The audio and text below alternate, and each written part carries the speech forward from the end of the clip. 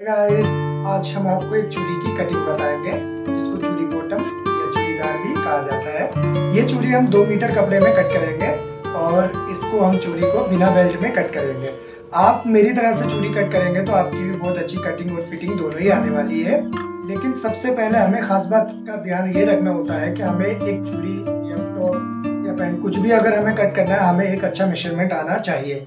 एक अच्छा मेज़रमेंट जब तक अगर आपको नहीं आएगा तो आप एक अच्छा कटिंग नहीं कर सकते। तो सबसे पहले आपको कटिंग करने से पहले आपको एक अच्छा मेज़रमेंट आना ही चाहिए। तो चलिए, हम इस चूड़ी को आपको कट करना सिखाते हैं। हमारे स्टाइल में अगर आप कट करेंगे तो देखना बहुत ज़बरदस्त इसकी कटिंग और फिटिंग दोनों ही आएगी।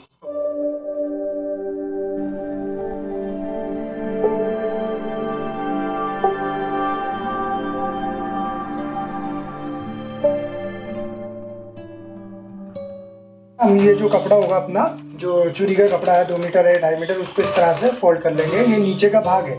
ये नीचे का भाग, ये क्रॉस है ना, ये पूरा मिला के इसको पूरा ये उड़े वाला भाग को इधर रख लेंगे। ठीक है?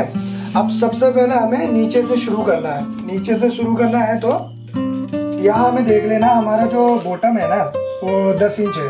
तो दस इंच है तो यहाँ फाइव इंच आएगा और इस तरह से अंदाज़ा कर लेना, एक इंच मार्जिन का आएगा तो यहाँ से जहाँ से अगर आपका सेट बैठ रहा है तो वहाँ पे एक मार्क दे देंगे तो इसके बाद यहाँ से आप सीधा निशान लगा देंगे ये नीचे और एक इंच फोल्ड करने के लिए दे देंगे। अभी आप ऊपर की तरफ़ को पूरा निशान लेते हुए जाएँगे। अब हमें क्या करना है, यहाँ पे गैदरिंग जो चूरी होता है ना, बहुत सारा इकट्ठा नीचे के भाग में तो उसके लिए हमें देना है।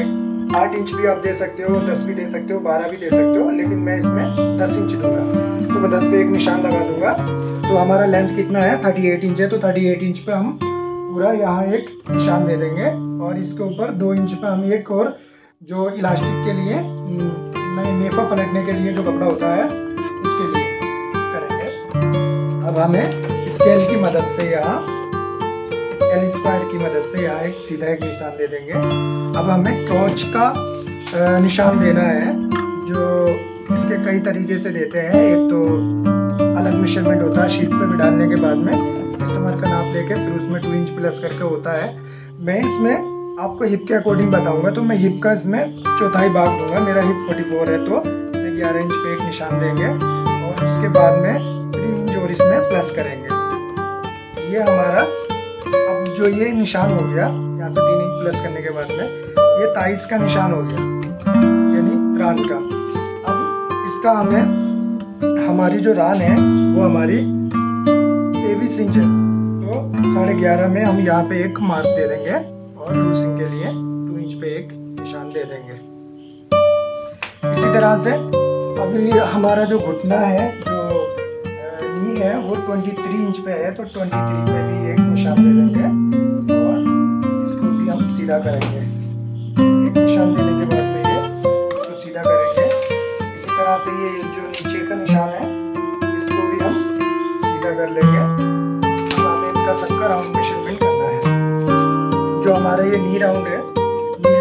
यहाँ का जो राउंड है, हमारा 16 इंच तो 16 पे हम एक निशान दे देंगे। उसके बाद में एक इंच लूसिंग के लिए। ये अपना नाप के ऊपर होता है। मेरे जो नाप है, मैं उसमें एक इंच का अलग से लूसिंग देता हूँ। उसके बाद में यहाँ जो हमारा मूली का जो भाग है ना, वो टेन इंच है। तो यहाँ से यहाँ तक सीधा रखेंगे। जितना ये गैदरिंग का जो भाग है, जितना ये चूड़ी डालना होता है, आप आठ इंच भी डाल सकते हो, कपड़ा कम है तो दस बारह जितना आपको पसंद है, उसके हिसाब से आप डाल सकते हो। अब आपको इस कपड़े को सीधा करना होगा। इस तरह से ये फिक्स मार्क है। ये इनको सीधा करना होगा। अब ऊपर आ जाएँगे। यहाँ से यहाँ से देखिए। यहाँ से इसकी मदद से काम करेंगे। इधर से शेप नहीं करेंगे, इधर से करेंगे।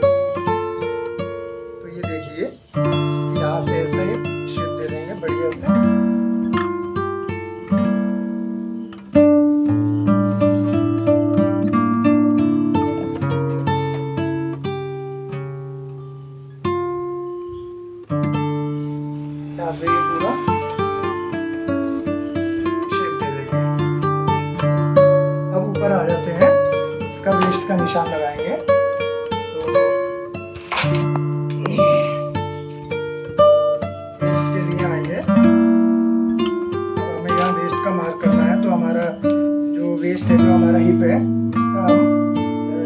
तो करेंगे, यानी ग्यारह चौक चौवालीस को। 11 इंच पर एक निशान दे देंगे। इसके बाद में ये एल स्क्वायर की मदद से इसे सीधा कर लेंगे। सीधा एक निशान दे देंगे। उसके बाद हमें यहाँ से कटिंग करना होगा यहाँ से आधा आधा इंच का मार्जिन देने के बाद में ये कट करेंगे और ये एल स्क्वायर की मदद से यहाँ पे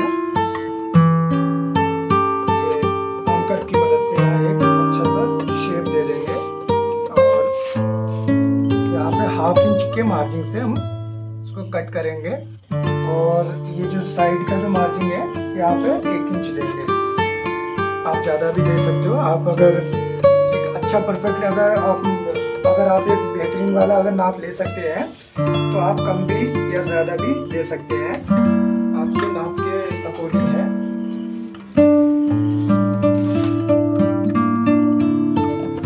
देखिए, मैंने पूरे निशान लगा लिए हैं। एक इंच के हिसाब से। हमें ये कट करना होगा। एक इंच मार्जिन देने के बाद में इसको पूरा कट करेंगे। तो कट करने के लिए हमें यहाँ से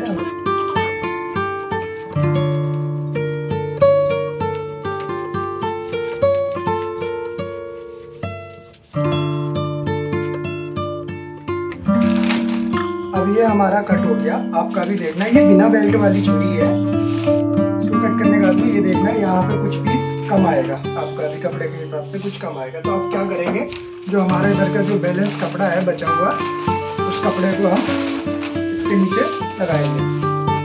देखिए क्या है, इस कपड़े को हम इस तरह से इसके नीचे रख लेंगे। ये नीचे रखने के बाद इसको जितना हमें मार्जिन लेना है ना, उसके हिसाब से हमें इसको दबाना होगा।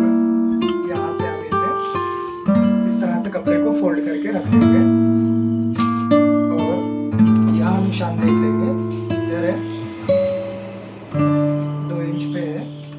यहाँ से एल स्क्वायर की मदद से इसे सीधा कर देंगे।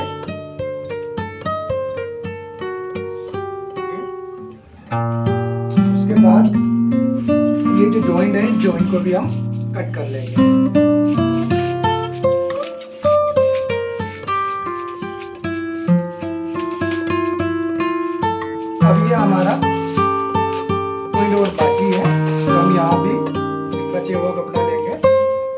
और यहाँ पे इसके नीचे भी इस तरह से रख के और इसको भी हम पूरा कट कर लेंगे। कट करने के बाद अब हमें इनकी मदद से पूरा जॉइंट को लगाना है। कौन सा जॉइंट किधर का है तो वो हमें यहाँ पिन करके रख लेना है। इस जॉइंट को हम बाहर निकालेंगे को आप बाहर निकालेंगे और यहाँ पे इस तरह से इसको भी पिन कट करेंगे। पिन लगा लेंगे, जो इनको आप बाहर निकालेंगे और इस तरह से पिन लगा लेंगे। मेरा ये पेपर है तो थोड़ा फट गया है, कपड़ा है तो कोई मुश्किल नहीं है। आप इस तरह से पूरा पिन करके इसको रख लेंगे। सिलने के टाइम में आप पूरा इस तरह से इसको सिल इसको कट करने के बाद क्या करेंगे, यहाँ पे इसको कट लगा लेंगे। कोशिश कर लेंगे। कट इसलिए लगाएँगे ताकि हमारा